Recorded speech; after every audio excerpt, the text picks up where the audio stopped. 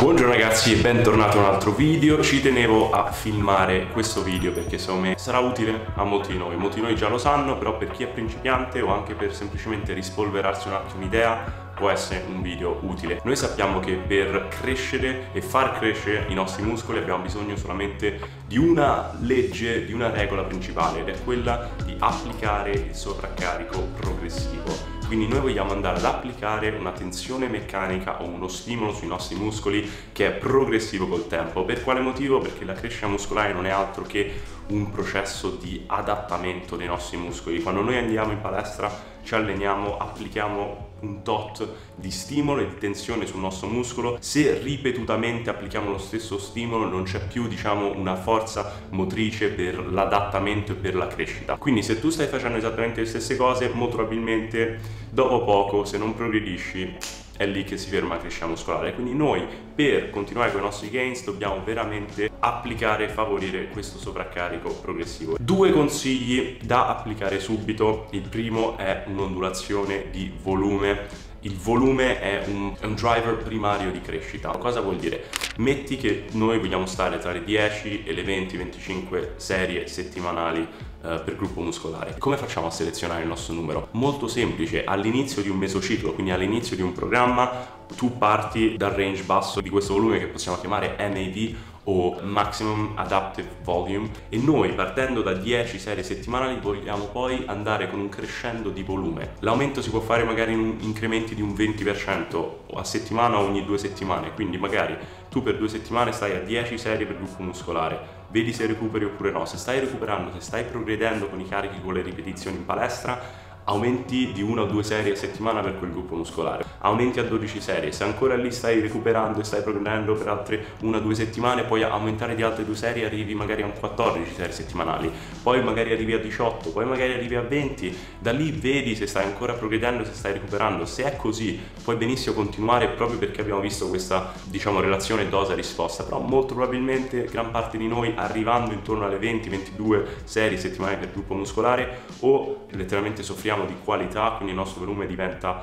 un po' junk volume, non è così tanto qualitativo, o rischia che non recuperiamo abbastanza e non riusciamo più a progredire, allora lì sappiamo che siamo arrivati molto vicini al nostro maximum recoverable volume, quindi siamo arrivati a una quantità di volume che letteralmente quasi stiamo lì lì e il corpo non riesce a recuperare. Lì dobbiamo semplicemente stare attenti perché se continuiamo a spingere il volume vuol dire che poi veramente rischiamo di non recuperare e in realtà possiamo letteralmente o non costruire eh, massa muscolare abbastanza velocemente o proprio non costruire massa muscolare. Quindi a quel punto magari fai uno scarico, torni giù ad un volume magari molto basso per una settimana oppure per 2-3 giorni, torni a 6 serie eh, per gruppo muscolare per una settimana, magari a 8, eccetera. E da lì riparti con questa ondulazione di volume. Quindi quello è il mio primo consiglio, se non lo stai facendo fallo perché è l'unico modo per capire veramente a cosa risponde bene al tuo corpo e quanto volume tu stesso riesci a recuperare. Abbiamo tutti lavori diversi, sei uno studente, hai stress diversi, quindi abbiamo tutte capacità di recupero differenti.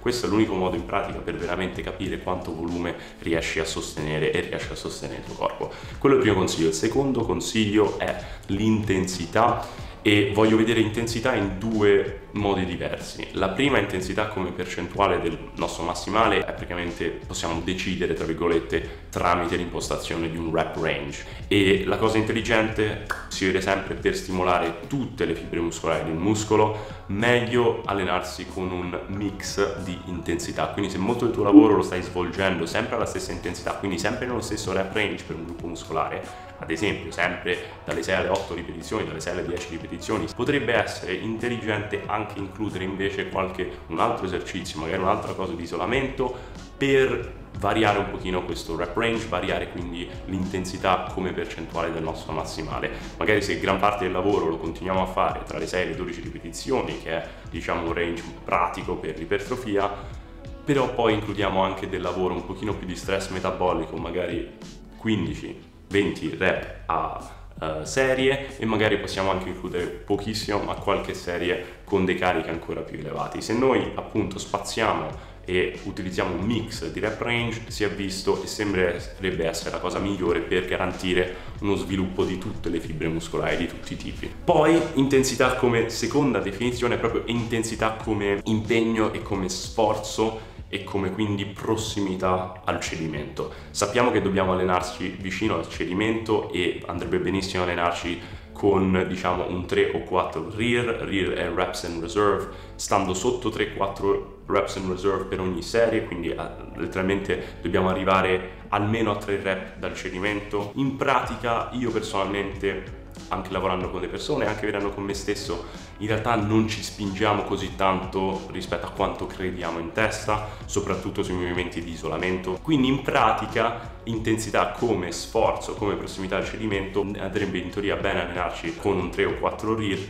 ma io personalmente consiglio di stare con un'intensità ancora più alta. Se tu sei principiante, allenati con 3-4 rear e farai i tuoi gains. Se sei più sull'intermedio, io mi manterrei ad un 2-1-0 rear. Se sei molto avanzato, ti alleni da tanti anni e non stai crescendo, c'è un muscolo debole che, che veramente ti sembra far tutto e non cresce, allora andrei a spingermi oltre il cedimento letteralmente, che vuol dire arrivi fino al cedimento con le tue rep complete e poi continui a respirare e provi a fare qualche rep in più un pochino più forzata, non cambiando il, il movimento, non stravolgendo la forma, ma facendo magari qualche rep parziale e provando veramente a distruggere quel muscolo.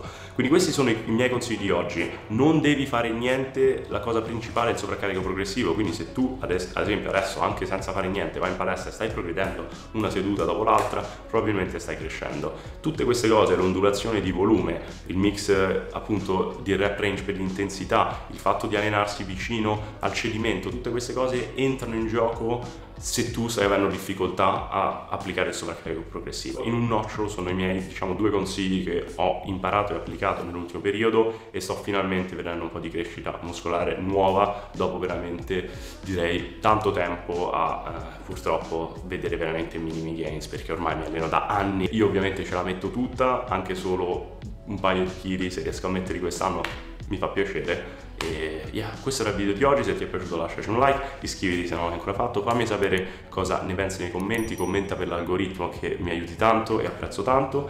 Noi ci vediamo al prossimo video e come sempre, keep improving!